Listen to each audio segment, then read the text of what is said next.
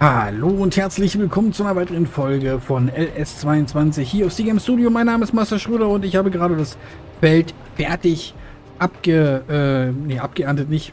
Ähm, besät, bestellt. So, Punkt.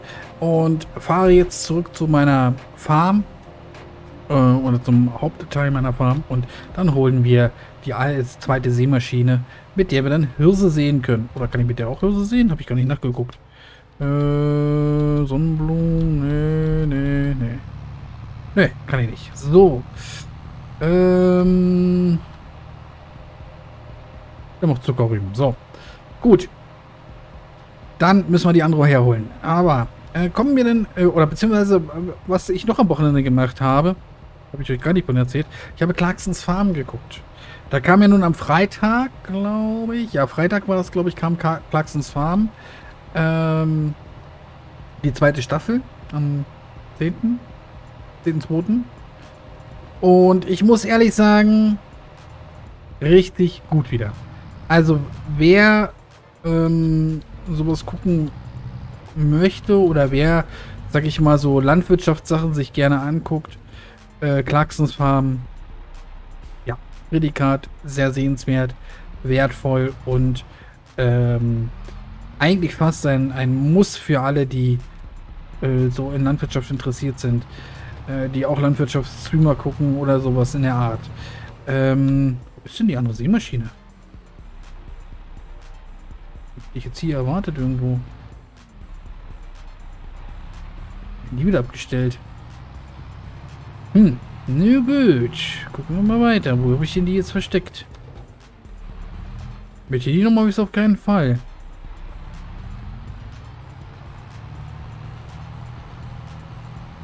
Ob ich in die Seemaschine versteckt? Hä? Da steht sie doch, oder nicht? Steht sie auch neben dem Anhänger. Blind ist er, wie ein Fisch. So, da neben dem grünen Anhänger steht. Ich habe bloß den grünen Anhänger gesehen, die Seemaschine nicht. Mann, Mann, Mann. Achim. So, gut, aber kommen wir zu Galaxens Farm. Ähm, was gibt's zu sagen? Also, erstens, wer die erste Staffel nicht geguckt hat, gucken. So. Äh, zweitens, oh, ich muss noch gut nachladen. Ähm, und ob das Düngemittel ausreicht, das wissen wir auch nicht. Naja, werden wir sehen. So. Zweitens, wer die zweite Staffel noch nicht geguckt hat, aber die erste geguckt hat, die zweite gucken. Unbedingt. Wirklich. Also, so, und ich fand einfach den Anfang von der ersten Staffel fand ich ja schon so schön, wo er einfach gesagt hat, pass auf hier, ich hatte hier meine Ländereien, also wusste ich nicht, dass er so viele Ländereien besitzt. Äh, wer Jeremy Clarks nicht kennt, ist jetzt auch erstmal nicht mehr der Wild, lernt er dort kennen und ähm, wie gesagt, erste Staffel alleine nur also das ist jetzt, äh, wer es noch nicht geguckt hat, vielleicht kurz weggeholt, ähm, das Ende der ganzen Sache mit dem, wo er denn sagt, wie viel Geld er denn eigentlich wirklich damit gemacht hat und wie traurig das eigentlich ist, dass er für Menschen halt eben die Land in der Landwirtschaft arbeiten und dass es halt in bloß über Förderung geht, dass er überhaupt irgendwer von leben kann. Ähm, schafft halt eine gewisse Awareness dafür, was Landwirte leisten bei dem Job, den sie tun. Ähm, das finde ich gut, dass das gezeigt wird, dass es auch offen gezeigt wird und dass dort halt die Menschen dann äh, vielleicht auch erkennen, äh, wie viel Wert so ein Landwirt hat. Und dann es durch die Wertschätzung natürlich auch an der einen oder anderen Stelle vielleicht den einen oder anderen Euro mehr ausgeben, um dann Nahrungsmittel zu kaufen, mh,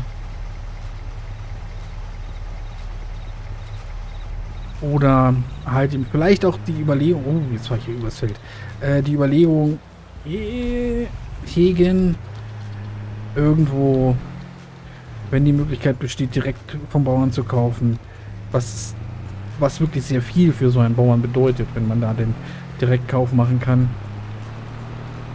Weil dann halt eben zwei, drei Zwischenhändler, die dran verdienen dem Produkt, nicht mit dabei sind und erst theoretisch zum gleichen Preis anbieten kann, aber viel mehr davon hat. Ne? So, das muss man ja dann mal so, so, so sagen und sehen. Ne? So ist das ja dann auch. Äh, der hat ja eindeutig wesentlich mehr davon, wenn das direkt verkaufen kann. Nun ist natürlich nicht bei jedem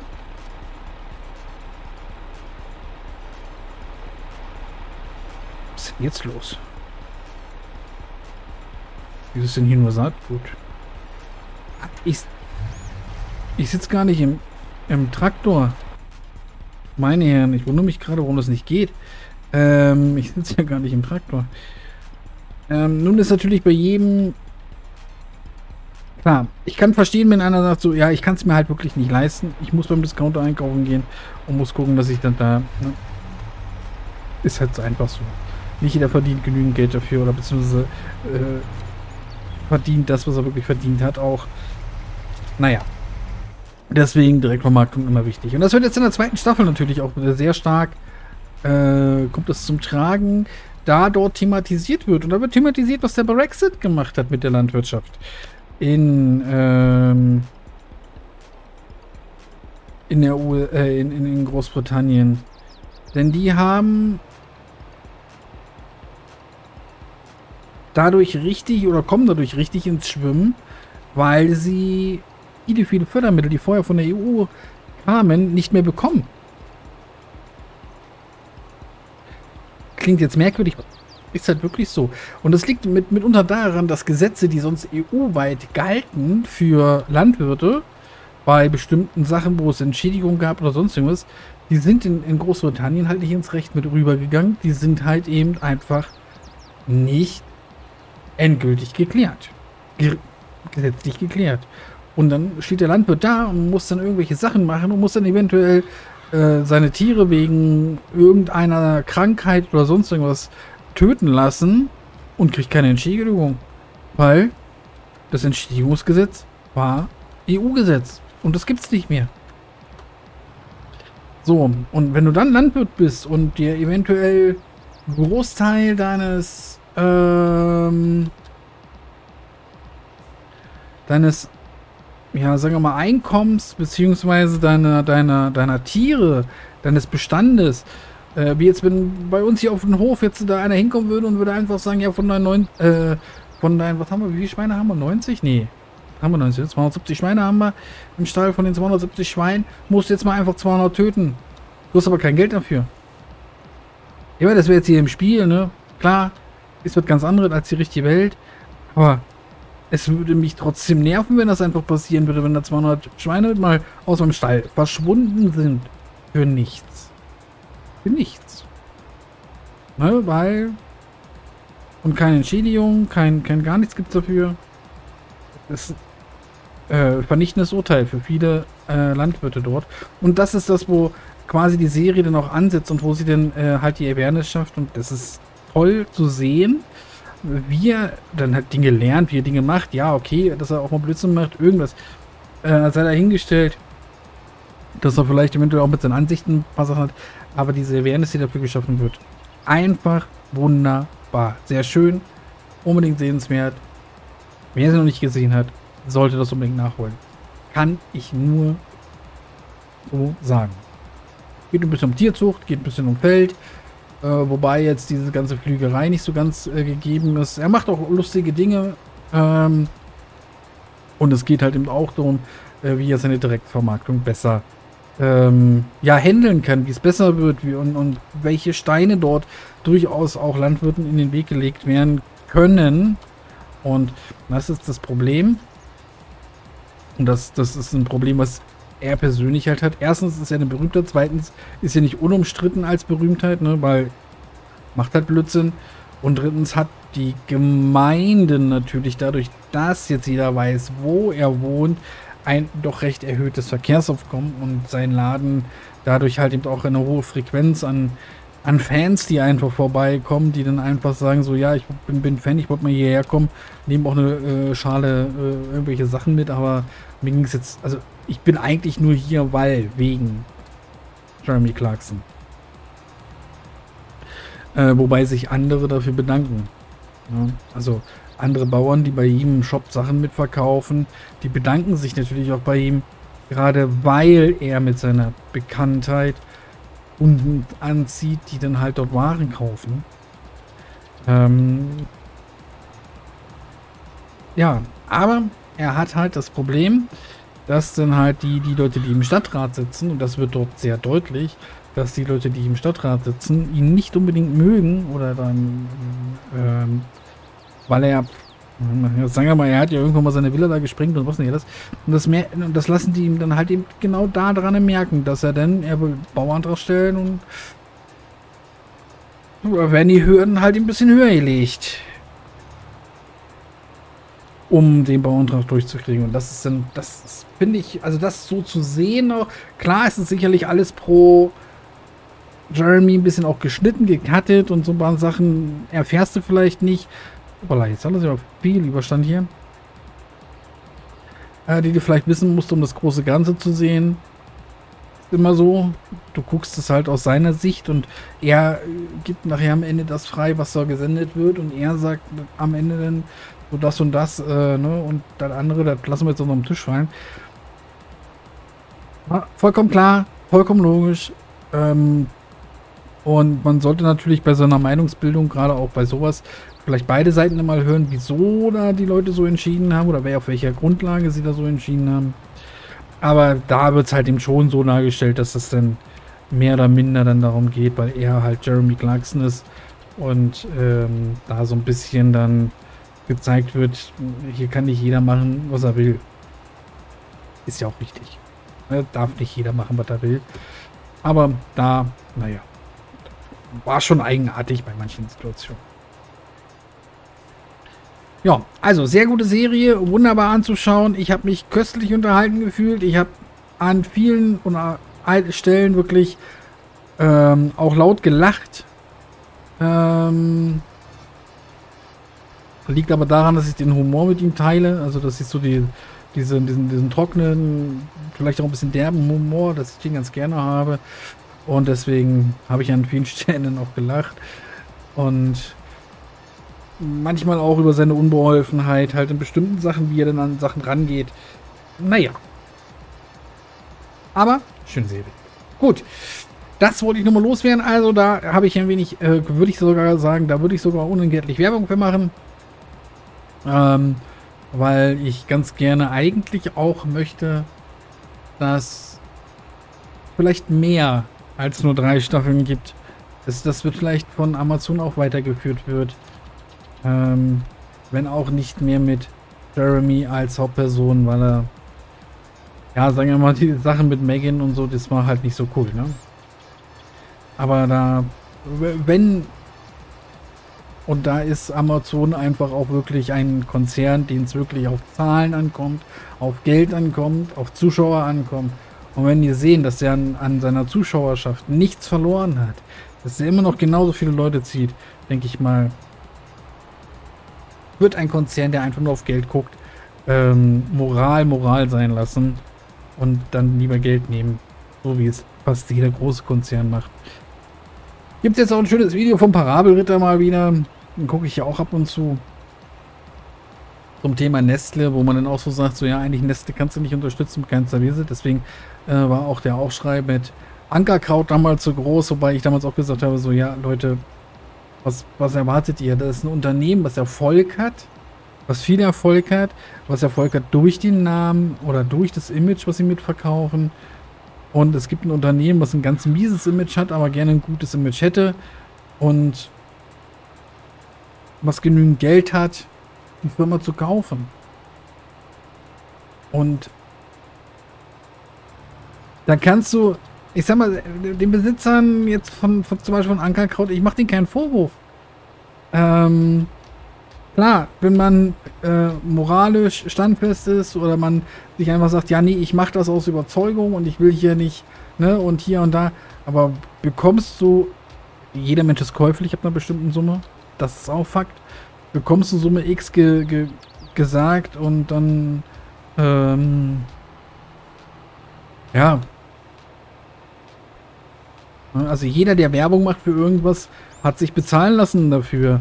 Muss man immer wissen und, und, und auch, dann, dann weiß man auch, der kriegt Geld dafür, dass er, aber zum Beispiel jetzt manche Influencer, der mir dann erzählt, dass Y-Food was Tolles wäre. Das erzählt ihr mir, weil die dem dafür Geld geben. Das erzählt er mir nicht, weil er vor Überzeugung von dem Zeug ist oder sonst irgendwas. Mag sein, dass er davon überzeugt ist, aber in erster Linie hat er dafür Geld gekriegt.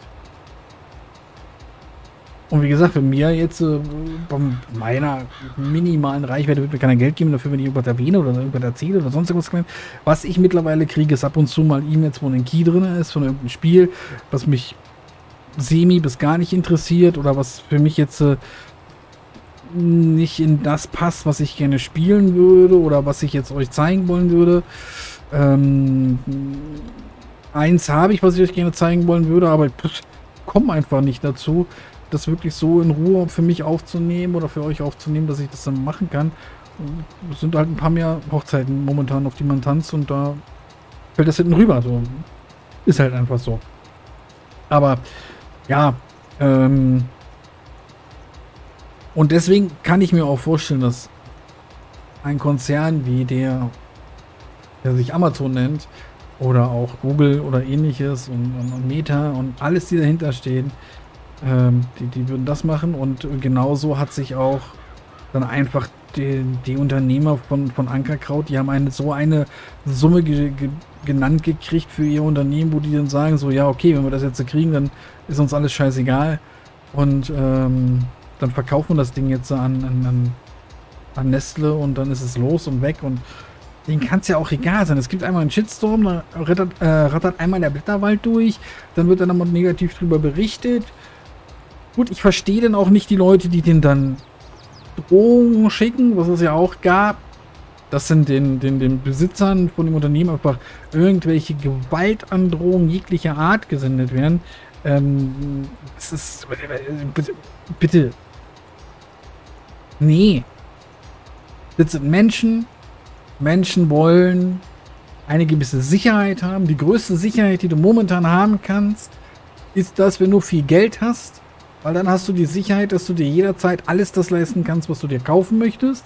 Du kannst dir Sicherheit kaufen. Mittlerweile ist es soweit, dass du dir Gesundheit kaufen kannst. Ähm, laut ins amerikanische Gesundheitssystem. Ähm, und dann ist es halt. Dann, dann, dann, wie gesagt, wenn mir einer jetzt hier äh, sagt, ich kaufe dir denn das und das ab und du kriegst ähm, zwei Millionen für, und auch wenn ich das überhaupt nicht vertreten würde und das moralisch komplett daneben wäre, dann würde ich sagen, ja, hier, zwei Millionen, ja, von mir aus, ich habe ausgedient. No? Ne? Weil, ich sag mal so, wenn ich jetzt so zwei Millionen irgendwie hätte als Kapital, dann, dann, dann wäre ich durch bis zu meiner Rente. Fertig. Dann, dann könnte ich einfach ganz normal. Ich müsste nicht mehr arbeiten gehen. Ich könnte einfach irgendwo ein Haus hinbauen und könnte von, von, von dem Geld leben, weil das Geld erzeugt mehr Geld. Und das, was es erzeugt an mehr Geld, das könnte ich einfach nutzen für mein täglich Brot, mein täglich Computerspiel, mein täglich alles. Und ich müsste mich anstrengen, dass ich es loswerde. Ähm und deswegen, ja, ne? Also falls irgendjemand irgendjemanden kennt, der mir 2 Millionen geben will, damit ich mit allem aufhöre, was ich hier mache, bitte. Ne? Immer los. Ich nehme die 2 Millionen gerne. Reicht mir dann. Dann bin ich durch mit meinem Leben. Ist halt einfach so. Ich keine Ahnung. Ich will irgendwo einen kleinen Bauernhof kaufen. An der Küste am wahrscheinlichsten. Ähm, Nord- und Ostsee ist mir fast noch egal. Obwohl natürlich... Ah, nee, dann dann eher Ostsee, glaube ich, weil das Wasser nicht so weit weghaut, abhaut. Da hast halt nicht so eine hohe, keine, fast gar keine Tide, ein bisschen ist, aber hast halt kein Ebbe Flut großartig. Ähm, hast halt immer Wasser vor der Tür. Meeresrauschen hören. Lecker Fischbrötchen essen. Na, ist das cool. Ja. Doch, nö. Das war schon. War schon cool. Das wäre schon, ja. Und ne, so haben es die Leute von Ankerkraut gemacht. Es wird immer wieder Unternehmen geben, die in große Konzerne gehen, weil der große Konzern einfach mit dem dicken Koffer, mit dem dicken Geld kommt. Dann ist es weg, der, der Laden, das Image wird verkauft. Die Leute haben aber ja Auskommen, bis sie bis ans Ende ihrer Tage. Vielleicht haben sie sogar, wenn sie jetzt noch an, die, die haben, ich glaube, die von Ankerkraut, die haben ja, glaube ich, richtig Familie, also Kinder und so ein Blödsinn alles noch dazu. Um so einen Mist muss ich mich nicht kümmern. Ne? Also ich muss nur noch dafür sorgen, dass ich durchkomme. Ich habe jetzt keinen, der mir nachkommt. Ich will auch keinen, der mir nachkommt. Hart wie es klingt, aber nein, möchte ich nicht. Möchte keine Kinder haben. Ähm, dafür bezahle ich mehr Pflegeversicherung. Das ist halt einfach so. Ich meine, Was ändert's, ne? Ähm, und deswegen, ich muss nur noch mich durchkriegen. Und beiße ins Gras, beiße, beiße ins Gras. Ich hoffe nur, dass ich bis dahin, weiß ich nicht, ich möchte es nicht beschreien, aber Luke überlebt habe. Äh, und ja, genau. Äh, dass ich halt eben kein Haus hier in dem Moment noch zurücklasse oder sonst irgendwas. Aber ich glaube, das wäre das Einzige, wofür ich dann sorgen würde. Dass dann, falls ich irgendwelche Tiere habe, dass für diese Tiere anständig gesorgt wird, dann auch bis äh, die dann ihren Lebensabend erreicht haben oder ihr Lebensende. Aber ansonsten, ich muss mir um nichts kümmern. Ja, naja, gut. Ist es sehr egoistisch. Das muss ich zugeben. Ähm, den Vorwurf muss ich mir auch gefallen lassen. Und der ist korrekt. Also wenn jetzt jemand sagt, dass die Ansicht ist sehr egoistisch, du bist da einfach nur, ähm, ja, willst einfach nur für dich sozusagen den besten Schnitt daraus haben und äh, dich kümmert links und rechts. Ja, genau. Das ist der Moment, oder das ist der einzige Moment, wo ich wirklich sehr egoistisch bin und einfach sage, das will ich so und fertig. Bei allen anderen bin ich, glaube ich, recht ähm, allgemein bedacht und, und möchte auch ganz gerne, dass es mein, meinem Umfeld besser geht als mir. Aber da, in der Situation, da bin ich egoistisch, sage ich einfach so. Kinder gibt's nicht, will ich nicht. Wer Kinder will, bitte gerne, aber ohne mich. Kostet doch mal eine Beziehung. Alles schon hinter mir. Aber ist dann halt so. Punkt. Gut. Ähm, ja, da sind wir sozusagen von ähm, einer Farm-Serie, die so ein bisschen das Leben auf einer Farm zeigt, zum Kinderkriegen gekommen. Wer weiß, wie das wieder ging. Aber manchmal geht es halt querbeet durchs Gemüse, durch den Gemüsegarten. Ähm, und wenn man bei der Shitty ist, dann wird es scharf. Oder so. Was ein dummes Zeug. Egal. Ich wollte nur noch die Zeit überbrücken, bis dieses, Fest, bis dieses Feld fertig ist. Und mehr eigentlich auch nicht. Klappt mal alles zusammen. Und dann sehen wir uns beim nächsten Mal wieder. Ich glaube, ich muss noch anheben. Nee, ist unten. Wo ist er denn nun? So, da ist er. Und ja, mir bleibt nichts weiter zu sagen. Wir sehen uns morgen wieder, wenn ich dann walze. Bis denn. Tschüss.